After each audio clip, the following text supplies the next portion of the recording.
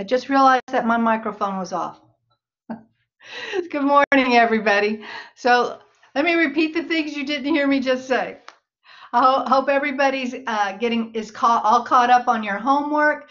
The next test comes up pretty fast. We're actually going to finish the material for the next test on Wednesday, a week from today, and then all that will be left to do is review. So don't uh, don't let it you know catch you off guard make sure if, if you aren't caught up now make sure you get all caught up over the weekend so that on monday you have very little to do to be prepared for test two. We're going to start with questions. Let me um, i'll put the camera on so that you'll be able to see. Um, now it just is a bit of a warning. Yesterday i had some issues with the camera. So if at any time, if at any time it, um, like the video disappears, uh, someone, can you turn on your microphone and tell me, okay? This happened multiple times yesterday. I'm hoping, I was having a bad internet day yesterday. In fact, it actually went down during the break in one of my classes. If that happens today, if the internet goes down and I'm not able to return after the break, if or if that ever happens, I will try to put an announcement and send an email in my phone because my phone will still work even if I don't have my internet here at home. So I'll try to put that in my uh, send you an announcement and email my phone. I will try continue to try to get back on. I won't just give up. Um, but I will understand if you don't want to just sit there and wait for me to get back on the internet. But another thing you can do is if I'm not there, I believe as long as the session is open, you can still talk to each other and talk about problems. Maybe you're going to work on some problems together. So that's a thing you could do if that ever happens. Happened to me yesterday, uh, about 10 minutes. It took me about 10 minutes into my uh, session, second session after the break before I was able to get internet back. So um, just to let you know, that's just a thing we have to deal with uh, doing the classes online. We're going to start today with questions that you have over 3.2.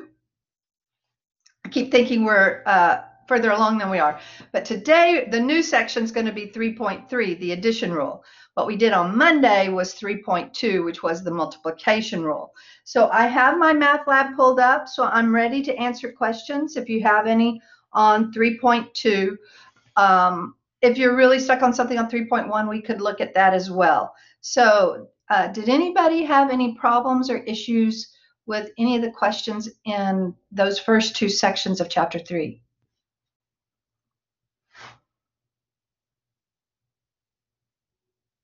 Can everybody hear me? Sometimes I wonder when I don't get any answers. So if I ask you, what? I say, yeah, we can hear you. Okay, thanks, Diamond. Um, if I ask a question, even if you just type in the chat, um, I'm good, I don't have any questions, or I don't know yet, whatever, anything you type in the chat, any feedback is really helpful. If you could picture standing in front of a class and asking them questions, or in front of people and asking them questions, and you're trying to help them, but you're not nobody's saying anything to you then that's why i asked you if you could hear me okay? So even if your answer is no or i don't know that's fine. Type away in the chat. I don't care. Lots of chat. That would be that would be good. And plus it gives everybody else makes it a little more interesting for everybody else. Okay so if you don't have questions on 3.2 then let's go on to section 3.3 so 3.3 is called the addition rule.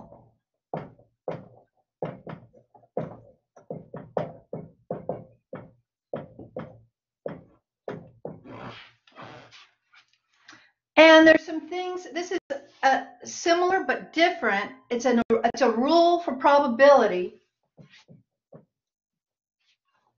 It's a rule for probability that we use in certain situations, just like we use the multiplication rule in certain situations. So I, I would like to review that multiplication rule and then we'll get into the addition rule. So this is also for probability. And this is the new topic that we're going to learn today. Now, just to review the multiplication rule that we got last time. So let's put review 3.2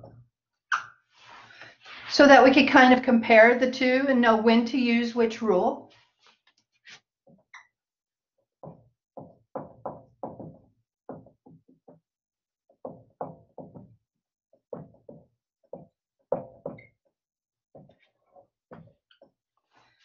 The multiplication rule was a rule used to find the probability of A and B. And this was when you have sequential events occurring. So a couple of notes we want to make where A and B are sequential events, meaning one happens and then the next, one after another. A happens, then B happens. So what you're looking for, if we're looking for the probability that A and B happen, then you take first the probability that A happens. So that's just a normal probability. And then when you see the word and, that's your indication that you're going to, the operation you're going to use is multiplication. So when I see the word and, the operation I'm going to use is multiplication. And then for the second part, you do the probability that B is going to happen, but when you do that, you assume so you could kind of think of that. I told you to think of this line as given. If you want to, you could also think of it as the word assuming that A already happened. Okay, so that straight line means given. I'll give you a couple of words that you can use for it. You can think of it as given or on the condition. So A is the condition.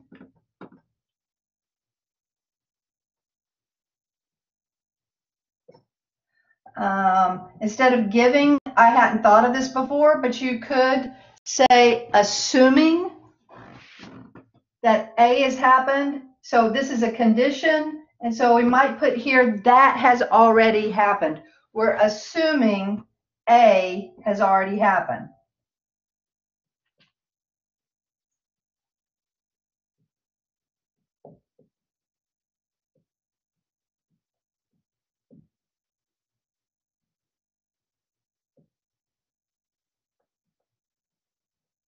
And what we saw from a few problems on Monday was that often that condition, when you're doing, con- this is called conditional probability, and often when you're doing conditional probability, the condition narrows your sample space because whatever this is, you're assuming it's already happened.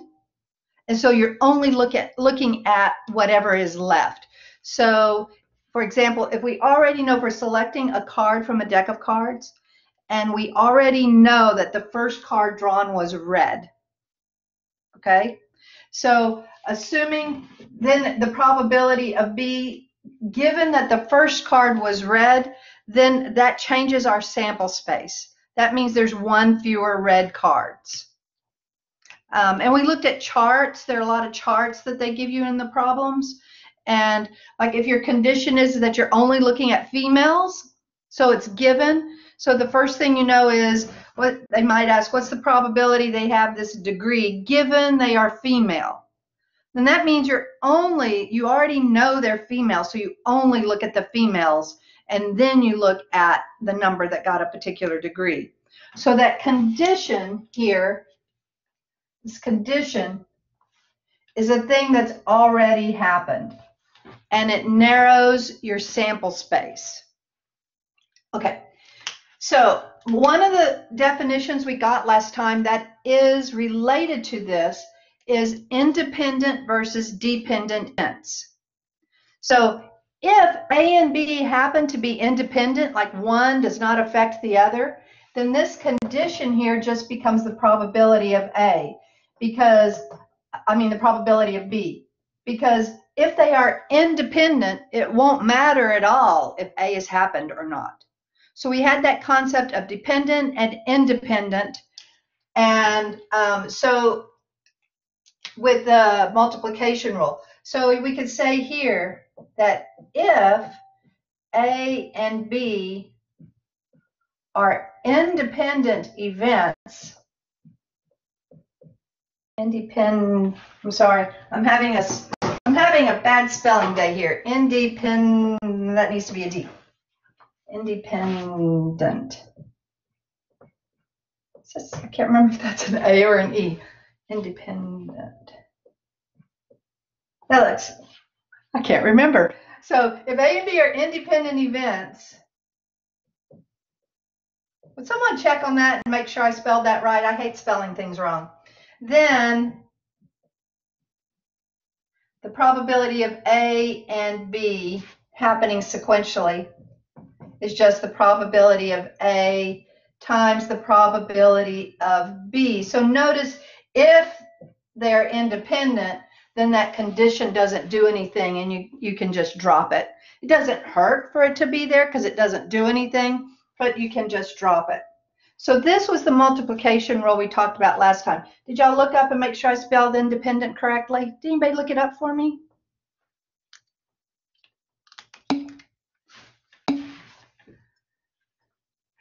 Okay, thank you guys. Spelling's kind of a big deal to me. So I know I'm a math person, but I hate it when I spell things wrong. So uh, I don't know why I thought it was an A to start with. So anyway, so this is what we did on Monday. Today we're going to pick up a new rule, the addition rule. And just as the multiplication rule works when you see the word and, the addition rule is going to work when we see the word or. Now, we have a couple of definitions we need to learn in order to understand the rule, this addition rule. So, the first thing with um, the addition rule, being independent or dependent doesn't really matter. Uh, for one thing, when you do an or probability, it isn't necessarily sequential events. It might just be one event. Okay, so the multiplication rule, this is kind of a big thing for you to understand. This uh, multiplication rule applies when you have sequential events. So the addition rule applies to, it, it's just one event usually. It can be sequential, but it doesn't have to be. So first we have a definition we need to pick up. And that definition is the definition of mutually exclusive events.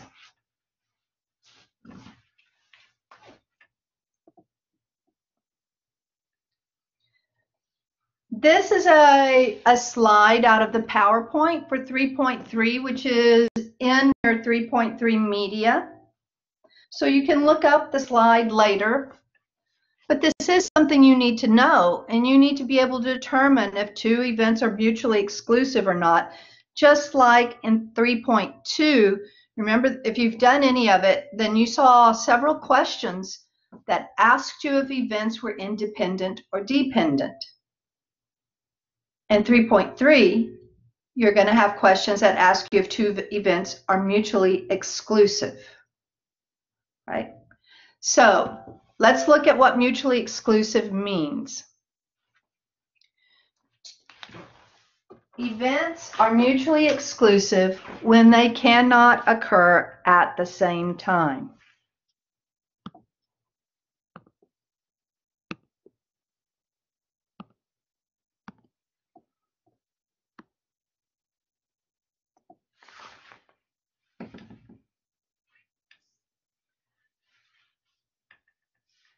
That's what mutually exclusive means.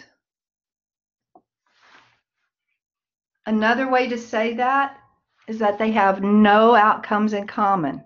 If they have no outcomes in common, we call them mutually exclusive. Here they have a picture of two uh, of events A and B that are mutually exclusive and events A and B that are not mutually exclusive. So imagine this sample space here, and I'll give you an example in a minute. Uh, imagine this whole sample space and everything in the sample space. And I'll give you an example real quick of, uh, let's say that our event, I'm going to make one up, okay? So let's say that we are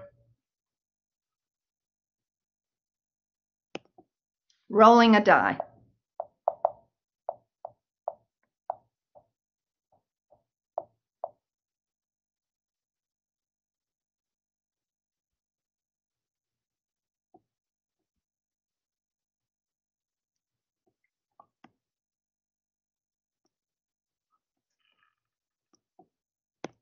For example,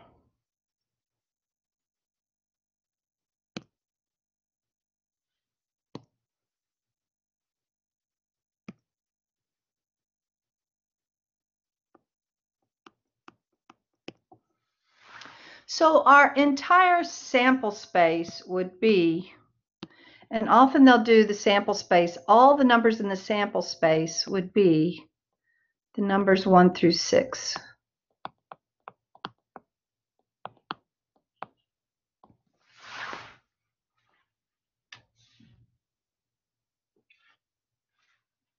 On this first picture,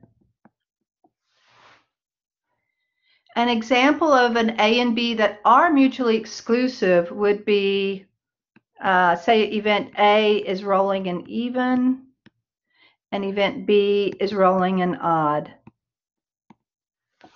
Since there are no numbers that are both even and odd, A and B do not overlap. There's no overlap. There's nothing in common. There are no numbers that are both even and odd. So we would say those two events are mutually exclusive. That's different than independent. Independent is when you have separate or sequential events and the probability of one does not affect the probability of the other, like rolling a die and flipping a coin. They're they are independent because what you roll on a die does not affect what you flip on a coin. Here, we're imagining that we roll the die once, and we're talking about the probability of get, getting an even number or an odd number. And those two events are mutually exclusive. They have no outcomes in common. There's no overlap. There are no numbers that are both even and odd. And that would be an example of mutually exclusive. Okay, let's think of an example where they're not mutually exclusive. So for the second one, so these are two separate examples. So this was example of mutually exclusive. Let's look at an example of two events. We'll use the same sample space where they're not mutually exclusive. So maybe A is still rolling an even. And B is getting a number less than 5.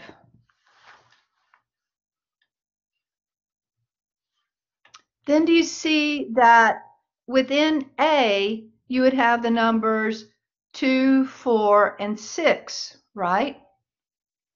2, 4, and 6. And I could put them in A. 2, 4, and 6 would be in A. Wait a second. I'm going to erase that one because that's not where I want it. Oh.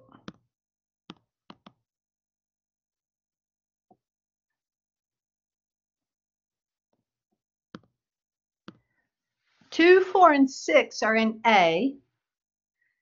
One, two, three, four are in B, which means there are two outcomes that are in both A and B. So the number two is in both events, and the number four is in both events. The number six is out here. It's in A, but it's not in B because it's even. but it's not less than five. And over here in B, we would have one and three, and those would be events that are in B, but not in A. But notice that there are two numbers, the numbers two and four, that are both even and less than five. In other words, the two sets overlap. These two events, A and B, have at least one outcome in common. In fact, these two events have two outcomes in common, the numbers two and four. And so because they have outcomes in common,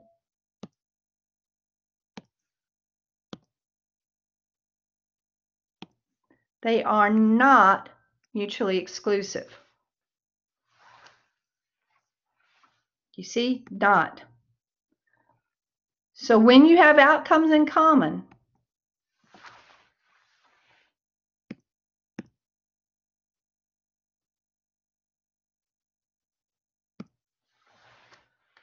then you do not have mutually exclusive events and there's an overlap.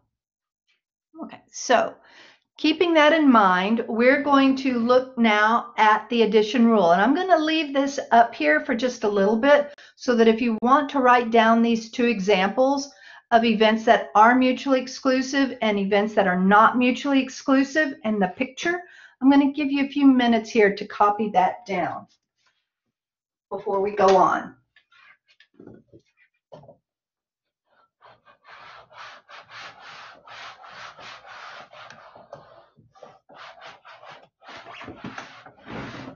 While you're doing that, I'm going to check roll. So I want you to write down this definition and draw this picture of it if you want to. And I'll call your name, raise your hand, and leave it up when I call your name. Uh, Ariana.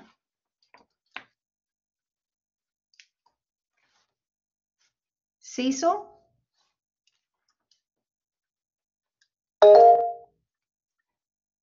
Diamond.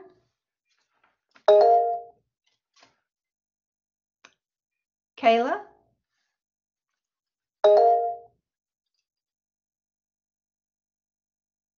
Kendra? Christina? Layla? Mia? Ricky? Samira?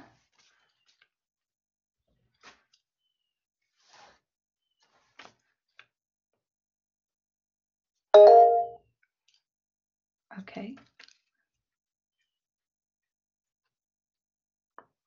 Stephanie? And Ariana, are you there? Raise your hand if you're there, Ariana. Okay, great. Okay, you guys can put your hands down. Thank you very much.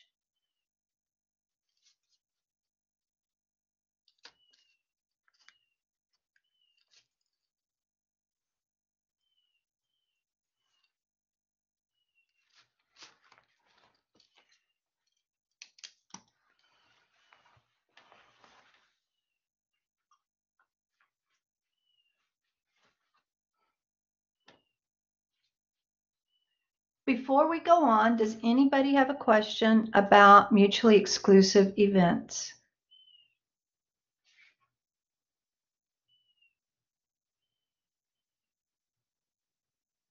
Okay, if you watch the PowerPoint, it will also, it will give you, I think it has a few more examples, but you can also look in the textbook. So that's when you go to the media assignments, you'll always see a PowerPoint, a video, and a textbook. Don't forget that you have those resources.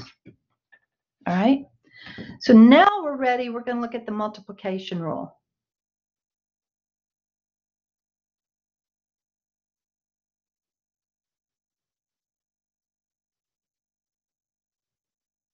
I'm sorry, the addition rule.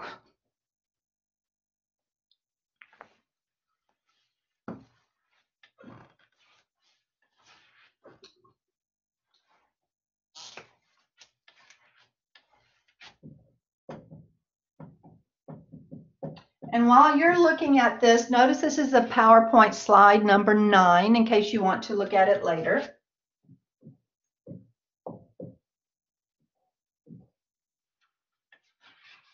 And I'm going to write it up here for you too. Kayla, do you have a question? Or Chloe?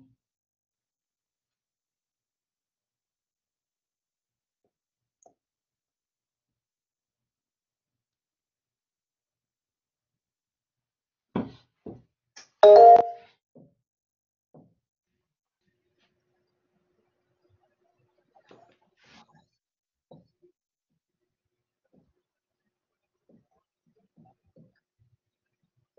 this is the other interpreter. Can you hear me?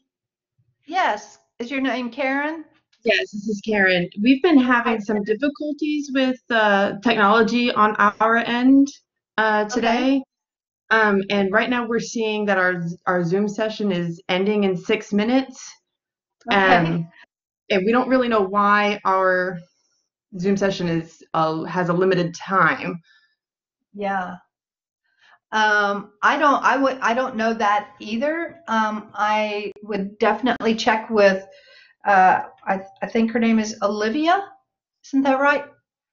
Um, uh, would it be possible? What do you think about starting it once it ends? Can you start a new session or do you know?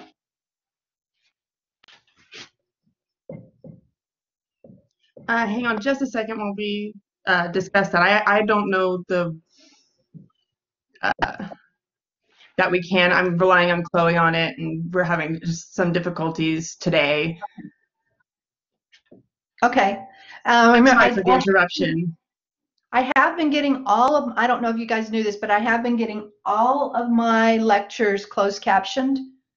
And when I upload them in in my math, in my stat lab, then anybody who wants to can turn on the captions, the closed captioning. So that is available to the students.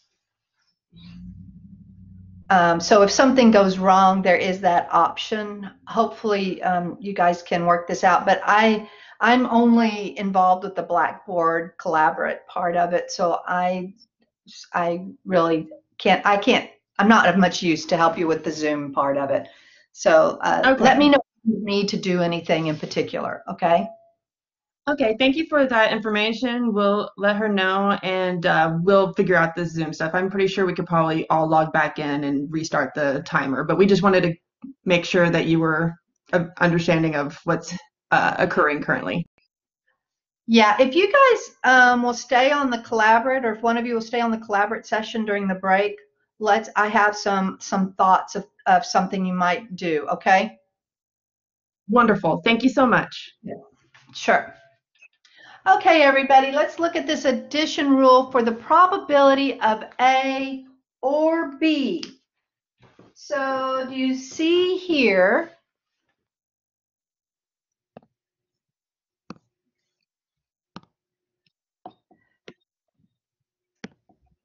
That this rule applies if you have A or B. Remember the multiplication rule applied for A and B. The addition rule is used when it's the probability of A or B. Then that means that the operation you're going to use is addition. So let's make note of that, that if it's if you're going to use addition when you see the word or. So, and here's the rule. The probability of A or B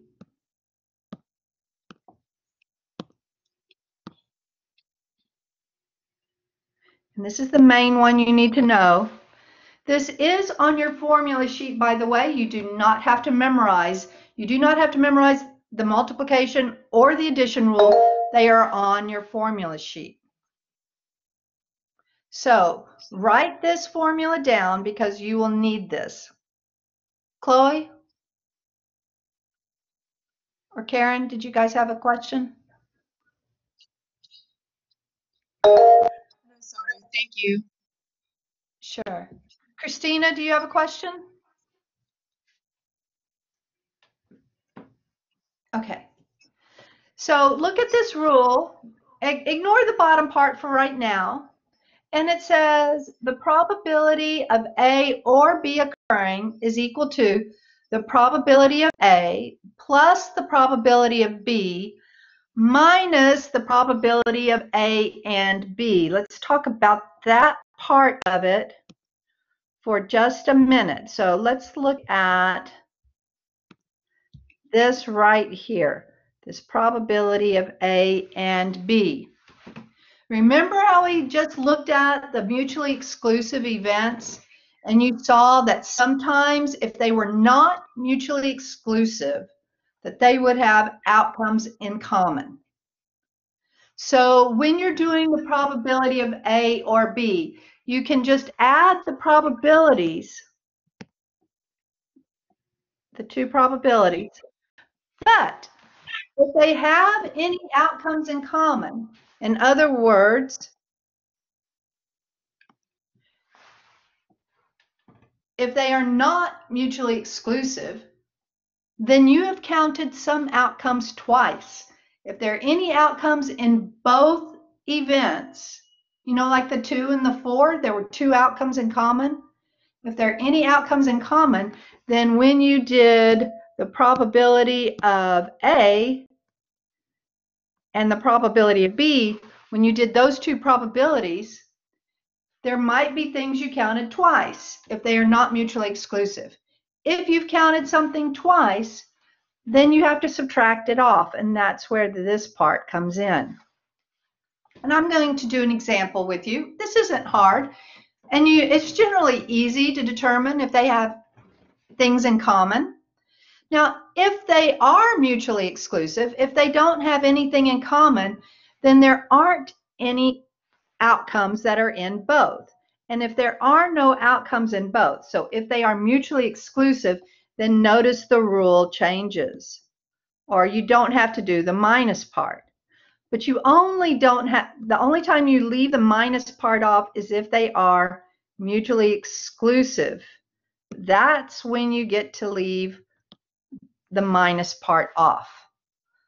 So if they are not mutually exclusive, and really instead of thinking of the word mutually exclusive, think of it as if there are outcomes in both events, I've got to subtract them off, however many there are.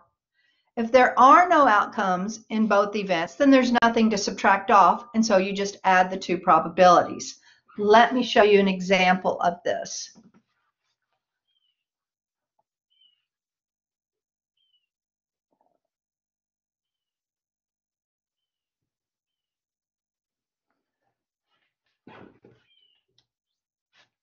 So here's the first example. This is actually an example in the PowerPoint. And the experiment is listed at the top. And here's the experiment. We're selecting a card from a standard deck. Notice that that's just one event. It says find the probability that the card is four, or an ace. Find the probability that the card is a four or an ace. So notice how they wrote the probability right here. The probability of getting a four or an ace. So we're just drawing one card. This is one event, not sequential events. One event, we want to know what's the probability we draw a four or an ace. So what they've shown here, this thing, this kind of picture is called a Venn diagram. And it shows the whole sample space is all 52 cards. And you can see the green circle. Those are your fours. And the blue circle shows your aces. And there's no overlap because there are no cards that are both a four and an ace. That doesn't exist. So that means fours and aces are mutually exclusive events. So notice here they point out that these events are mutually exclusive because you can't have a card that's a four and an ace. Because they are mutually exclusive, there's no overlap, no outcomes in common, which means we don't have to subtract off. There's no overlap to subtract off. Okay? Christina, do you have a question?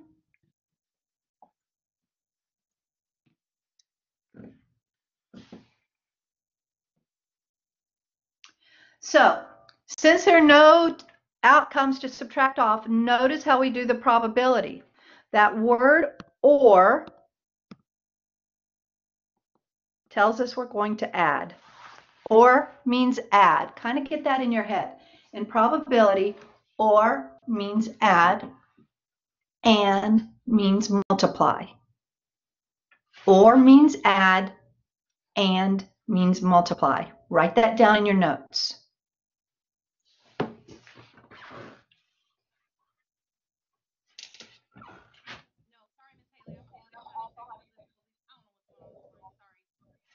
Oh yeah, I, I can just barely hear you. Let me see if I have my, maybe I have my sound down. Let me turn it back up. No, I have it up. I can just barely hear. No, I'm sorry. I'm having all kinds of technical difficulties. Okay, I'm sorry. That was like me yesterday. It was really frustrating. I was exhausted. I was exhausted. so what I want you to write down is that or means to add.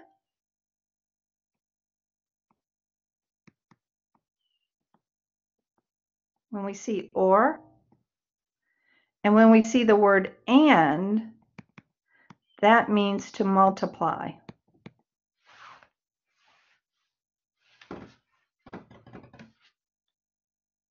Now you do also have to remember that when you're adding, you're going to have to subtract something off if there's overlap. And I have another example for you in just a minute where there's overlap. These two events, fours and aces, have no overlap. You can see from the picture that they don't overlap. There's no cards. There is not even one card that is both a four and an ace. That would be a super weird card not in a normal deck for sure. So because there's no overlap, that means if we were going to subtract off, so really it could be, it could look like this. We could be subtracting the probability that it's a four and an ace. They didn't put that on there. Now the reason why they didn't put it on there is because there aren't any. So that would be zero out of 52. So since there are no cards, zero cards that are both a four and an ace, we don't have anything to subtract off. So they chose to leave it off. But notice it doesn't hurt if I still do it. And my recommendation is that you always put that minus on it so that you don't forget to look for that overlap, to look to see if there's an overlap. On this one, there is not. See, they're totally distinct. There is no overlap. So that means I have no outcomes in common, zero. Nothing to subtract off. So all I have to do is add the 4 over 52 plus 4 over 52, which gives us an answer of 8 over 52. And they changed this to a decimal but if I asked you for a fraction, you would not leave it as 8 over 52 because that will reduce. So if MyStatLab tells you to change it to a decimal, this one looks like it's been, I don't know if it's been rounded. I'm going to check and see. So when you do 8 over 52, yeah, that's been rounded to three places if you were going to take the test for me, or I may select problems where it wants the fraction form. So make sure you know how to do both forms. So this 8 over 52 answer would not be complete if they tell you to reduce it. So I'm going to reduce it over here. If I leave that probability in fraction form, I would divide by 4 on the top and the bottom, or you can divide by 2 and then divide by 2 again. So if you were to divide by 2, it would give you 4 over 26. And that would reduce to 2 over 13.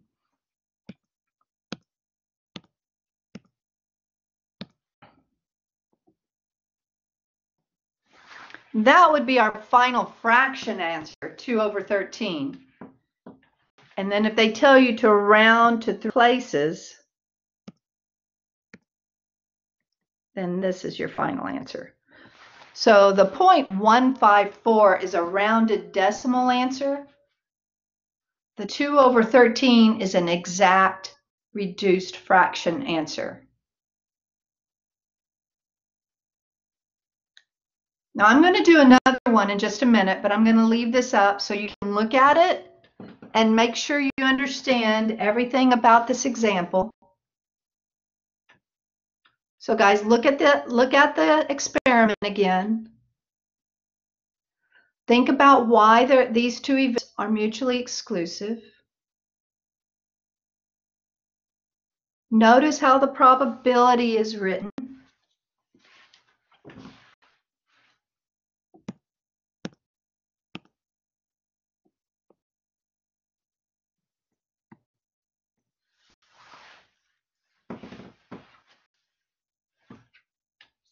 Notice how the formula is applied because if I asked you to show work on this one, I would want to see this right here. If I, I would want to see this whole thing right here if I asked you to show work. Now you wouldn't necessarily have to have the minus part because there is an overlap. There is there are no outcomes in common. But if you included it, that would be really good because even though this one doesn't need it, you should always write that part down so that you don't forget to do that when it is needed. We're going to do an example in a minute of when it of one where it is needed.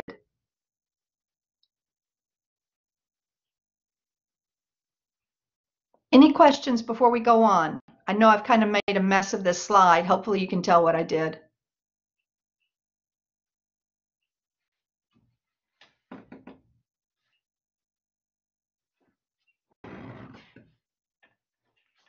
Okay, let's look at another example.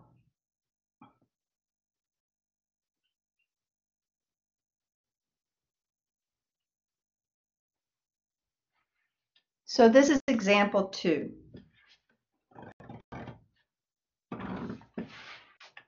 It says you roll a die. Find the probability of rolling a number less than three or rolling an odd number.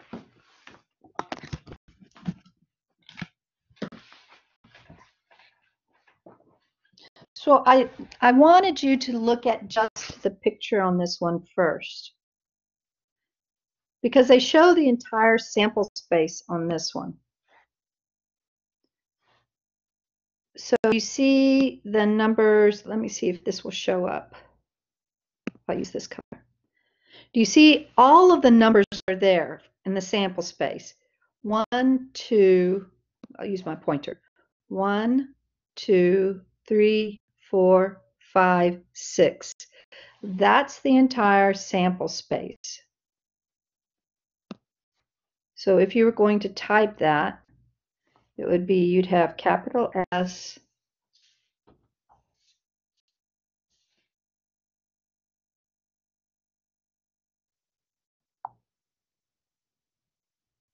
and I don't have braces available to me here, but um,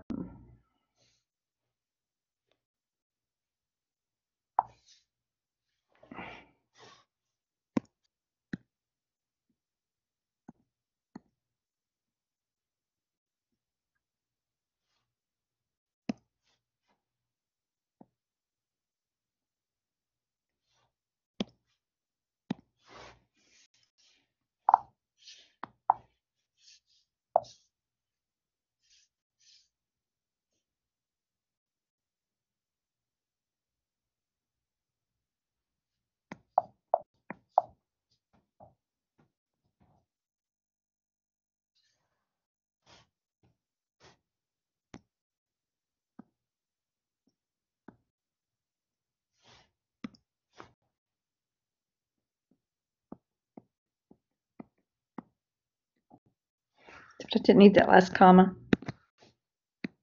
That's the whole space. If you think of these two things as events, maybe event, it says, uh, it says a number less than three or rolling an odd number. So your two events here are less than three, and the other event is rolling an odd number. So you see on the pink circle, maybe we call that event A.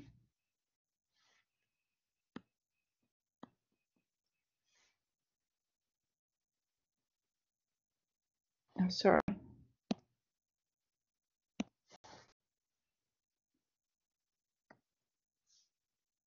And the blue circle is event B.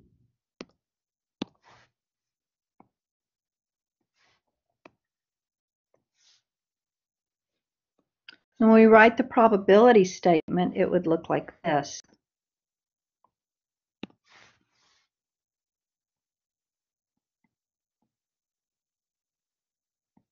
I would write it like this, number less than three or an odd number.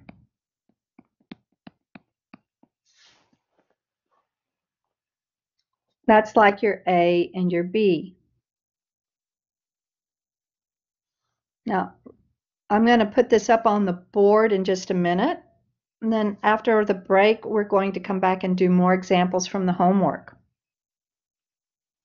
So on this one, look at A and B and see how they drew the picture.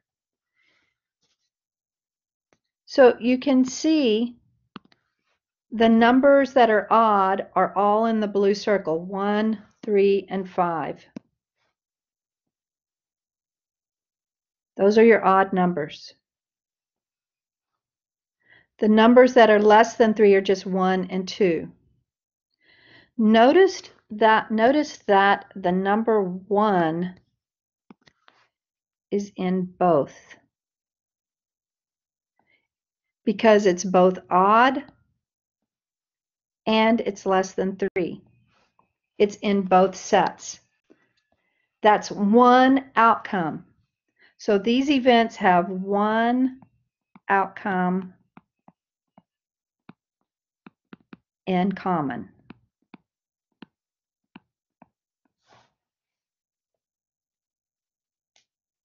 Because they have one outcome in common, the probability of both, so if you said A um, and B, is 1 out of 6. That's the probability of A and B, because that's the probability that the outcome of rolling the die was both odd and less than 3. One outcome, not because it's the number 1, but because there's one number that's in both sets. One outcome in common. So I'm going to do this one on the board so that you can see, because I've also I've kind of run out of space on this picture. This picture is really nice, but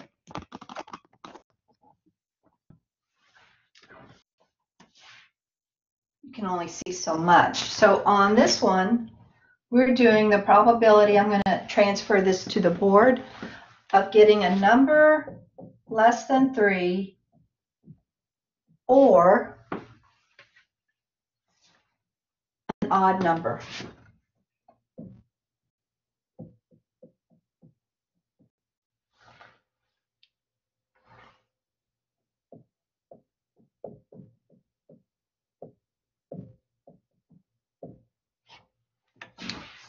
Okay, so I'm going to stop sharing this so I can show you what I've written on the board.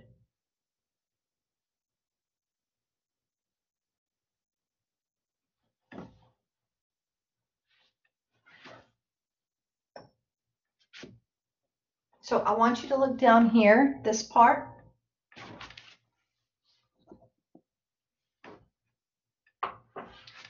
Here's our addition rule. The probability of A or B is the probability of A plus the probability of B because OR means add. But then you have to subtract off the overlap. Notice I've subtracted off this. And I'm going to have something there if there are outcomes in common. In other words, if they are not mutually exclusive.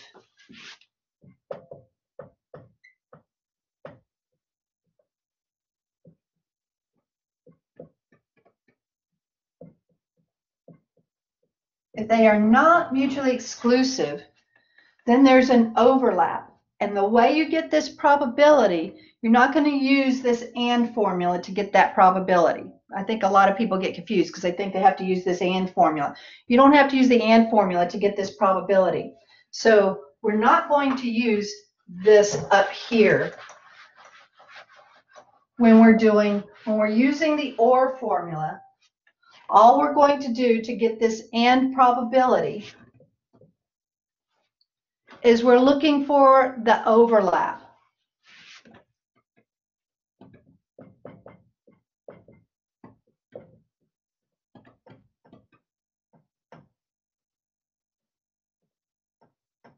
So you're going to do the number of outcomes in common and divide by the total number of outcomes.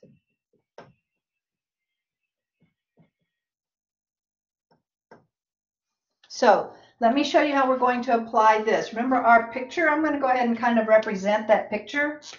Here was our sample space, the whole sample space. And then we had here, these were our numbers that were, I think they put the odd ones here, and these were the numbers less than three. So we had one outcome in common, the number one was odd and less than three. Then we had three and five over here. And then we had the number two over here. And then four and six were out here because they weren't, those aren't odd or less than three. So those numbers were out here in the sample space, but not in either of these particular sets. I'm going to show you how to use this picture, and we're going to use this formula here.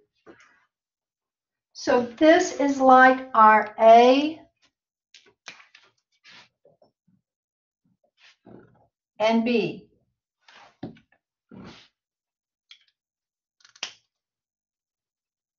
Separated by the word or.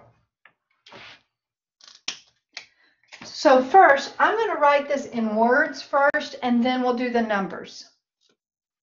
So I'm going to follow my formula, and you should always write your formula down because it helps a lot. So notice I identified what event A is and what event B is. I also have a picture. This was, this is event B, and this is event A, because A is less than 3. So when I see probability of A, that's going to be the probability I get a number less than 3. So that becomes this, plus the probability of B. B is getting an odd number. Minus the probability that it's both. Less than 3 and odd. In other words, this is the overlap.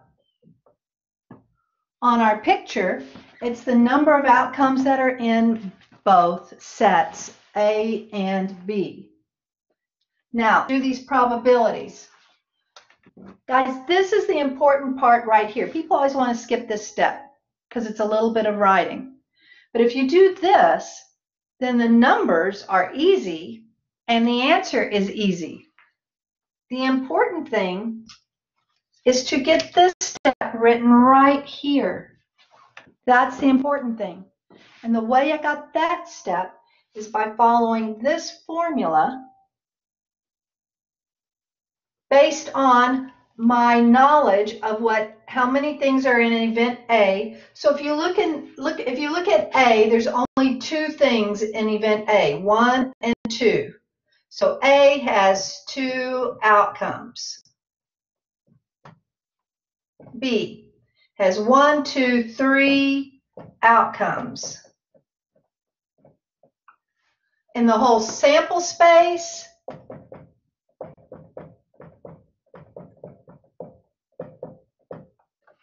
we have six total outcomes.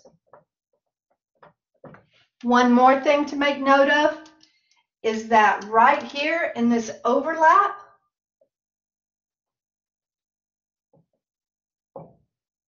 one outcome in common. Now I'm spent I know I'm spending a lot of time on this one problem, but I'm hoping it'll help you understand what we're doing and how we get these probabilities. So now I'm actually going to put the numbers in. When you jump straight to the numbers, guys, that's fine, but it doesn't really demonstrate that you know what you're doing. If I ask you to show your work on one like this, I'm going to expect to see this formula written and followed. So practice what you would do on the test. Take your time and figure it out. So this first one says, what's the probability you get a number less than three?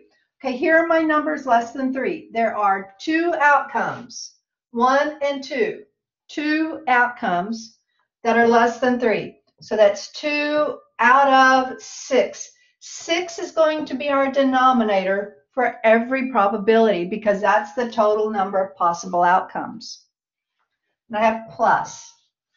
The probability of getting an odd number. So look over at our odd numbers here there are three outcomes one, three, and five, three different outcomes. So the probability of rolling an odd number is three out of six. Then we do have an overlap. So we need to we need to include the subtraction part because there's an at least one outcome that's in both sets.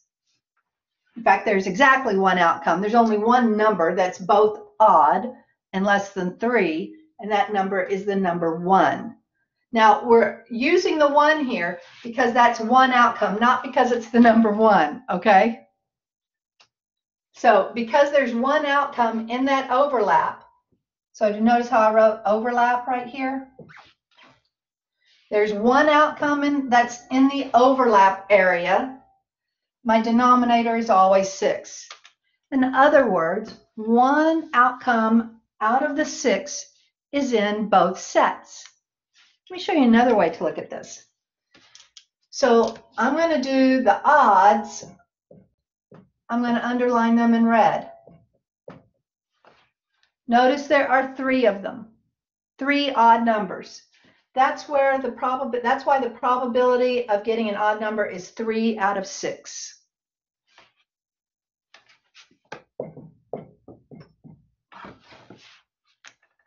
Now, the numbers that are less than 3.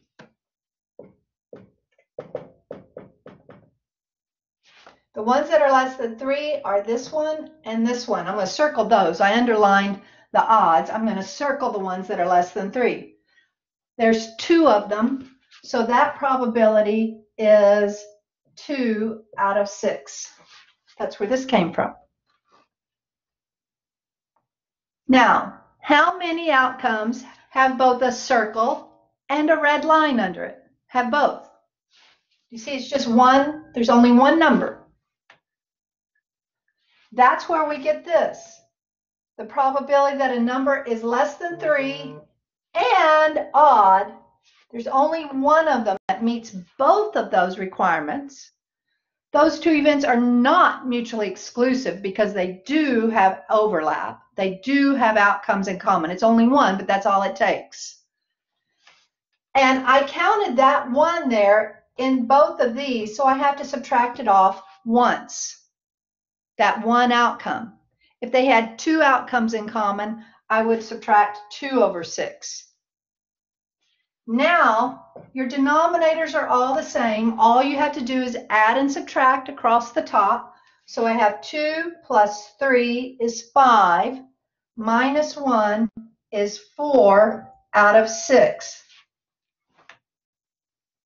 And that would be my fraction answer, but I would reduce it Run out of room. If I divide by two, that means the probability in fraction form of getting either a number less than three or an odd number when rolling the die one time, not two different events, just I'm rolling the die one time, the probability of me rolling a number less than three or an odd number is two thirds. If they asked you to round this, they wanted an approximate answer in decimal form, and I'm going to round this to three places like, because probability is often rounded to three places. Two thirds is going to be repeating sixes. So this would end up being 0.667, and that would be the rounded decimal probability to three places. I'm going to leave this up. We're going to go ahead and have the break. I'm going to leave this up though. So if any of you would like to, uh, if there's part of it you want to look at for a little bit longer, um, or if, I don't know, maybe the picture helps you better, but maybe this helps you more, you know, circling some and underlining others. When it's a huge sample space, this is harder. So if you're looking at the whole deck of cards or the sample space with the, with the pair of dice, that's a much bigger sample space. Those I have for you on that uh, sample space handout that's in the Unit 2 folder under Lessons. So don't forget to print that out. That will be helpful both on the homework and on the next test. So it's not always easy to draw it or write it out. So um, sometimes you have to think through it. But we're going to do some more examples after the break. I have about five examples out of the homework that I want to do with you. So be sure and come back after the break. We will meet back at 12.